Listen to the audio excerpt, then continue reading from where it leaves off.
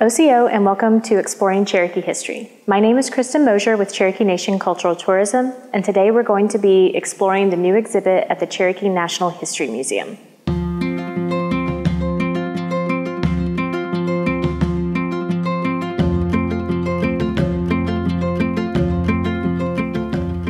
Now featured at the Cherokee National History Museum is the exhibit Sequoyah, an American Icon. 2021 marks the bicentennial of the Cherokee Syllabary, and this exhibit highlights the syllabary's creator and his legacy.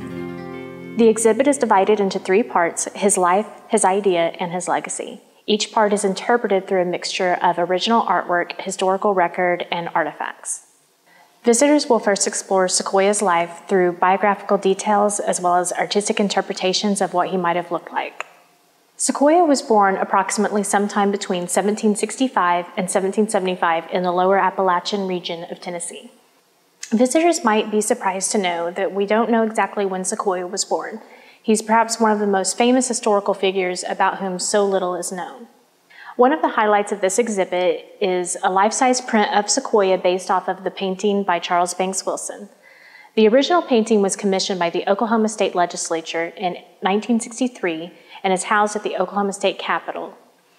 The Oklahoma Arts Council graciously gave us permission to create this life-size replica, and visitors will enjoy being able to take their picture with a life-size Sequoyah. Hanging next to this image is a photograph of Sequoyah's likeness as it was sculpted into the Library of Congress doors in 1930. Visitors might notice that this depiction of Sequoyah is vaguely reminiscent of an ancient Egyptian style, but that style was actually very prevalent during this time period artistically. Displayed are objects that help illustrate the story of Sequoyah's life, such as a sculpture of Sequoyah with his daughter Ayoka as they write their names in the dirt using Sequoyah's syllabary. Also on display is a first edition of a biography that was published about Sequoyah, written by American author George Foster in 1885, illustrating how even in the late 19th century, people were fascinated by the story of Sequoyah and the legacy that he left behind. Next, visitors will explore how Sequoyah's idea of a written language for his people transitioned into the Cherokee syllabary that we know today. Finally, visitors will explore Sequoyah's legacy and how his invention of the Cherokee syllabary impacted Cherokee Nation in the past and continues to impact us today. In this section, we have the proceedings from the dedication of Sequoyah's statue in Statuary Hall at the U.S. Capitol in 1917.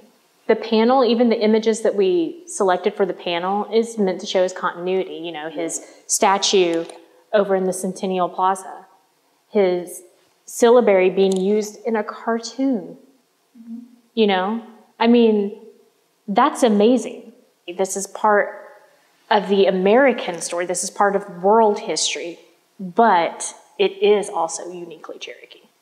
You're concluding your journey learning about Sequoyah's life and his development of the syllabary, but what we want you to take away is how his legacy is still going, how his legacy is still prevalent today. We, we do still have our written language. Even though it is endangered, we still have it, and it's one of the unique identifiers among all Cherokee. Because, you know, there's three federally recognized Cherokee tribes, but the syllabary is something that unites all of us, and it's so unique that even people who aren't Cherokee can see it and say, that's the Cherokee syllabary.